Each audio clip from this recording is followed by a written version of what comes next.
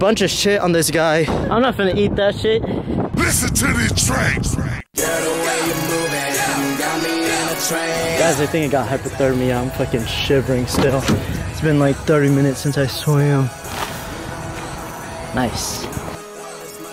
Another big boy for the books. Wait, the other one has red shit too, you see? Yeah, it I does. think we're cool, bro. Holding that shit like a fucking sub. Alright, cool. Put in the bag.